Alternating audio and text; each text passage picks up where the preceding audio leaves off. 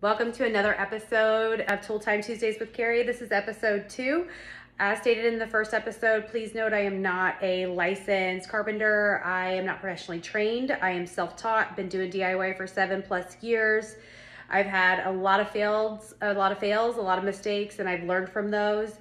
And just hoping that my experience can inspire you to start your DIY journey in case you are a little intimidated and just needing that extra shove to start yours. So this episode, we're going to be going over the orbital sander, sanding techniques, the various grits of sanding um, discs that you would need to buy with orbital sanders. And I really hope that you find this episode helpful. This tool, it to me is a vital tool, especially if you're doing any type of woodworking. Uh, I've used it with every woodworking project and you'll want to that fin for that finished professional look. This is a tool that you will need. So let's get started. There are so many terms like when you get into DIY that you just don't understand and at least I did not and just trying to remember some of those things that I didn't know what they meant. So for this, when people say grain of the wood, so sand with the grain of the wood, what they mean is sand, this is the grain right here. You would want to sand from bottom to top or top to bottom. You do not want to sand from across. And the reason that being is that it's not going to give you the best look. The best look will be sanding with the grain of the wood. So that's what that means. The grain is these lines. So for this episode of Tool Time Tuesdays with Carrie, I'm going to go over the Orbital, Orbital sander. This is a palm sander. Um, lots of brands make them. I just prefer DeWalt. Kobalt's good. Um, there's Milwaukee, there's Craftsman, and there's like higher end ones if you're like trying to get into the professional, like super professional. But DeWalt is a really good one. I just like it. This is around, I think it's under 200, and this one specifically has various speeds on it, which I really like. If you are doing, um, if you buy one that has like speed where you can change that, highly recommend doing it in a lower speed setting uh, because it can cause like squiggle marks in wood and you don't want that. Slow and steady really wins the race. Sanding is not the funnest, but it will give you that professional look and result on whatever project you're doing.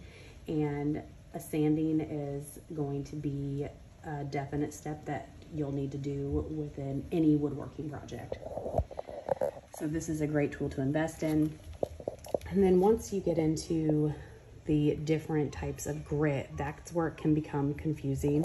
They're a little pricey. Um, I didn't buy all these all at once. It was over time. So um, something just to be note that definitely are going to need various grits depending on what your project is. If you're stripping furniture and it's got layers of paint on it, you're going to want to get something that has a more coarse grit like 40. So there's 40 and that is a, this right here is a lot of removal. So if you have like two layers of paint, something like that, 40 grit is gonna be good. You don't wanna press hard down on it because it does remove. It will remove, so you don't, like it says right here, it's coarse. You don't wanna press down on it. You just wanna make sure it removes. It will make the piece of furniture or wood a little gritty, but this is like if you're like trying to remove layers of paint or something. So that's good for that. And then I have a hundred, and this is good for leveling. So this can level the wood. So after you, if you were to use 40 grit, I would recommend using the hundred after that. That would level whatever surface. Um, or if you're just trying to take like a light layer of paint off or like a light layer of like stain, you could use a 100 grit. And then there's 120. It's more fine, but it's still got a grit to it. It's a surface preparation. So really you could skip, if your wood's pretty level, you could skip 100 grit and you can move from 140 to, or I'm sorry, you can move from 40 to 120. It really is dependent on what you're working on and then it's your call. So you might have to use all three of these. You want an ultra, ultra smooth finish afterwards. So you might have to level the wood or it might already be level and then you could just skip to 120 to prep if you're gonna paint or stain. And then I have 220. I always buy them in big because 220 is the the finish, like the ultra smooth finish that like you feel like the store-bought type furniture. So 220 is definitely something I rec or the grit I definitely recommend having. That's for the end product. I use that with everything, any wood project I do, and I make sure to do that in, so I sand in between. So I will do like a layer of primer and then I'll use the 220 and then I'll do the layer or like a coat of paint and then I'll do 220 again and then I'll do that second layer of paint. And that is that really smooth finish.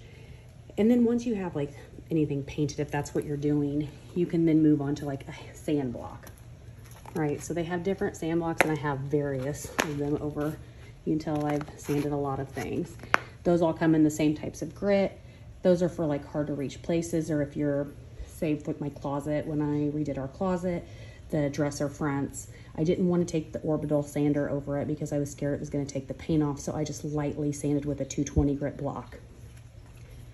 So this is the sander. Definitely recommend investing in this tool if you don't have it. It is great for any wood, you will need it for any woodworking project if you want it to look like a professional end result. Also with that comes safety. So at minimum, you need a respirator. I bought this at Lowe's. You can get them like anywhere. You want a respirator, you need to protect your lungs. Just to give you a visual of what I'm talking about in regards to holding the palm sander down too hard or operating it on a higher speed, this was an earlier project. It is our dining room table and I still love it, but I honestly need to resand it. See these squiggly lines in here? That is from the orbital sander. That's from me pressing too hard down and doing it at a higher speed. So this is the marks that will create after you go to stain it. And they're sometimes they're not that visible, um, but then once you start to stain it, you'll see that. So that's why it's important that if you're prepping, you go with one of the lower grits if you're just trying to level it out, and then you have to go with a finisher, like a 220 grit with this sander. So it comes with a bag. You can buy a vacuum and um, so the dust doesn't go everywhere. This is supposed to act like that, uh, that protector to, to grab most of the dust, but that's just impossible unless you have like a vacuum system. Um, you will want to change out the discs. Like you'll be able to tell when you're sanding if it's time to change the disc out. Um, you could easily just feel it and see if the grit's gone from the, the one that you're doing. So, um, or the one that you're using. So you'll wanna make sure that you empty this out. You wanna take good care of it and wipe it down. You can tell that I've used that sander quite a bit. It's lasted through several projects. And they also make, if you, for some reason you tear this piece right here,